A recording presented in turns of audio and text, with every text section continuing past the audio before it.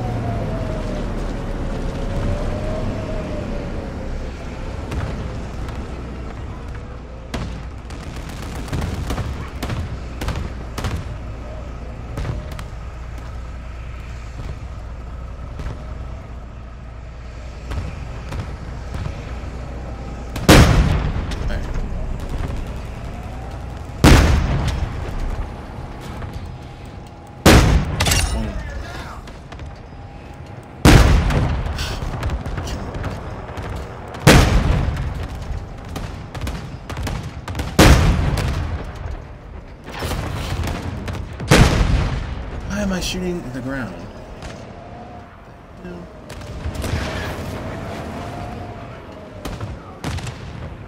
Fuck. Targets.